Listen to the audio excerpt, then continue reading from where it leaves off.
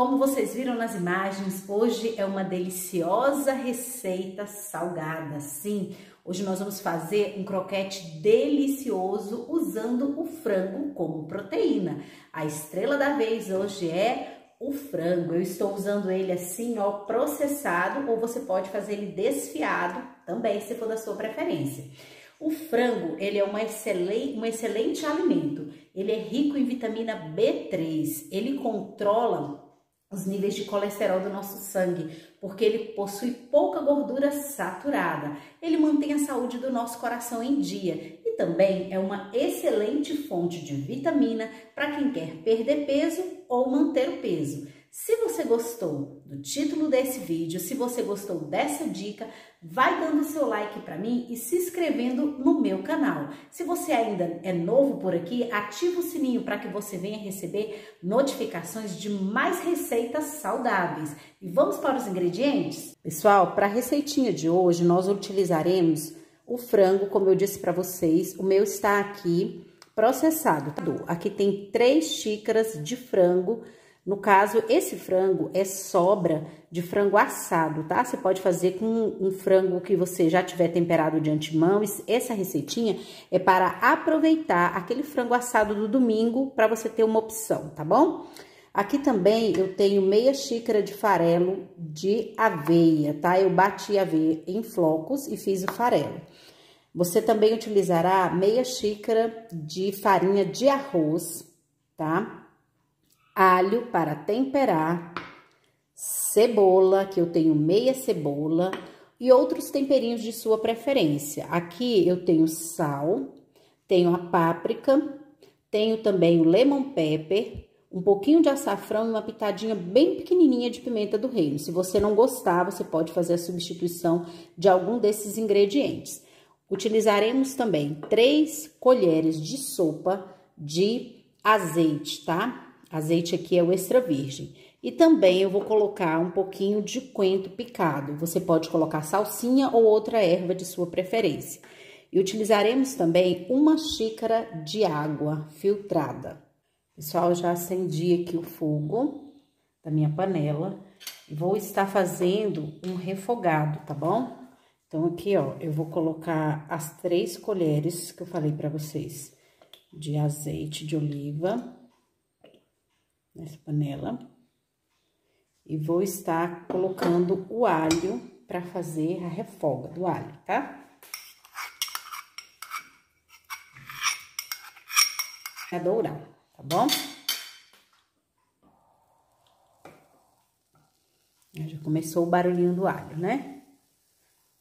Logo em seguida, vamos acrescentar a cebola.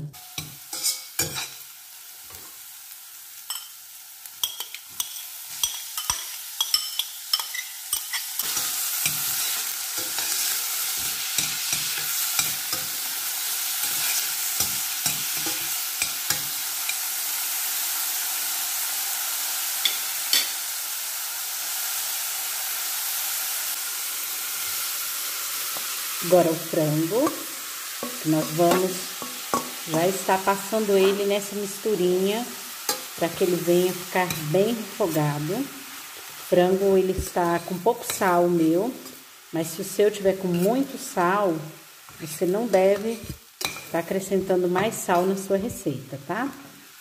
Aqui a maioria é peito, mas você pode fazer com qualquer parte do frango assado que sobrou, né?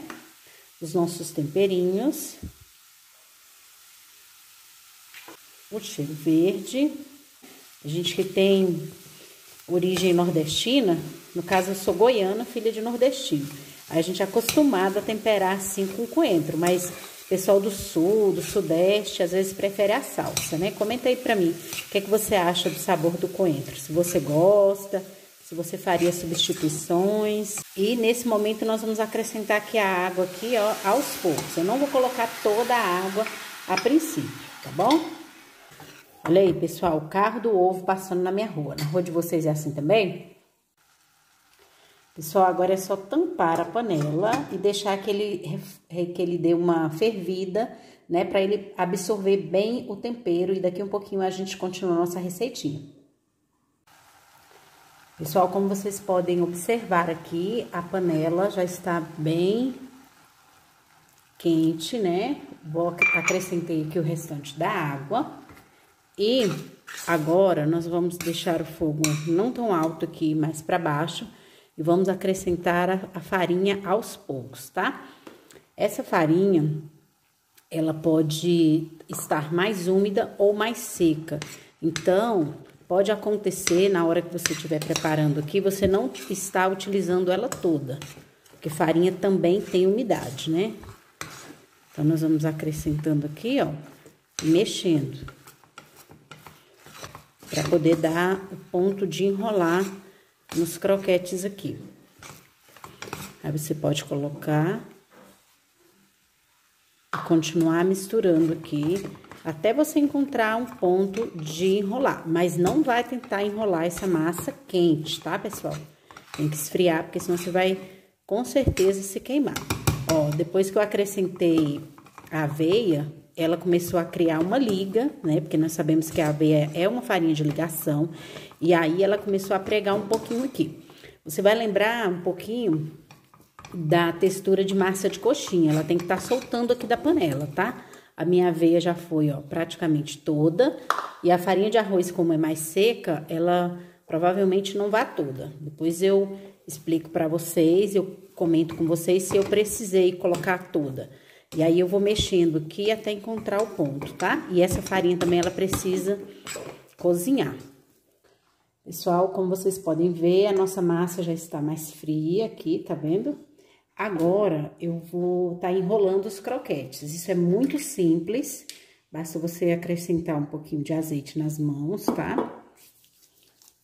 Pegar um pouco da massa. E aí, o tamanho é o tamanho da sua preferência, ó. Você pode ver que a massa, ela tá bem, bem macia. Você vai enrolar os croquetes do tamanho que você quiser. Se for pra festa, você faz menor. Esse tamanho meu aqui, é para refeição, para almoço, tá? Aí você, ó, vocês viram como é que eu fiz? Fiz um, um tubetezinho, tá? Aqui a câmera tá focalizando legal. Aí, nesse caso, na hora que você estiver fazendo isso, você pode rechear. Só que se você colocar queijo, por exemplo, corre o risco, né, do queijo sair pelas laterais e perder um pouco o formato. Então, ó, primeiro vamos bolear, depois vamos fazer um compridinho, tipo estilo salsicha. Como nós boleamos, ele já ficou com as laterais redondinhas. Vamos fazer isso em toda a massa, tá bom? E aí, você pode fazer de duas formas. Você pode fazer assado no forno convencional ou estar utilizando a sua airfry. No caso aqui, eu vou estar utilizando a minha airfry, tá bom? Pessoal, eu estou com, meu, com a minha airfryer a 180 graus aqui, ela já foi aquecida por 3 minutos. Antes de iniciar o processo da airfryer, deixa eu só explicar para vocês que eu falei da farinha, tá vendo? Sobrou duas colheres aproximadamente de sopa da farinha de arroz, tá? Que eu fiquei de mostrar para vocês. Pessoal,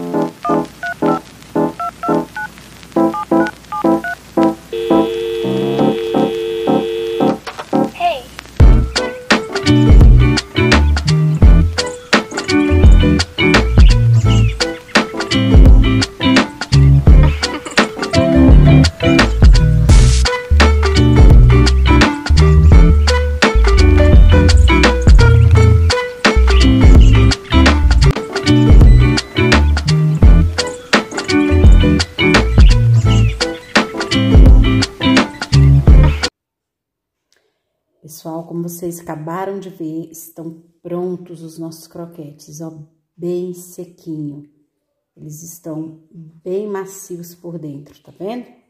Eles ficaram aproximadamente uns 10 minutinhos na airfry. Coloquei 8 minutos, depois mais 2 minutos para dourar. Isso vai depender da sua airfry. E se você fizer no forno convencional, é bom você ficar de olho, porque a carne de frango, ela já estava assada. Então, vai ser super rapidinho para eles ficarem prontos, né? E aí, pessoal, o que vocês acharam da receitinha de hoje? deliciosos, né? Esses croquetes. Eu tenho certeza que você vai gostar muito. É uma nova opção para você reaproveitar o frango da sobra ou fazer algo diferente com aquele peito de frango grelhado da sua dieta ou da sua reeducação alimentar. Espero que vocês tenham gostado dessa receitinha. Se gostaram, vão dando like aí para mim, compartilhe essa receita com seus amigos e se inscreva no meu canal caso você não seja inscrito.